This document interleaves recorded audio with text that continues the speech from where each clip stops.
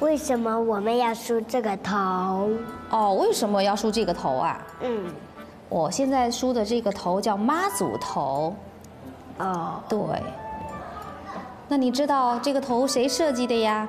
我不知道。你不知道啊？嗯，那我告诉你哈，这个头是妈祖设计的。As the folk song goes, while sailboat hair, ocean blue attire, and red and black pants praying for safety on the sea. In fact, this Mazu hairstyle was designed by Mazu herself.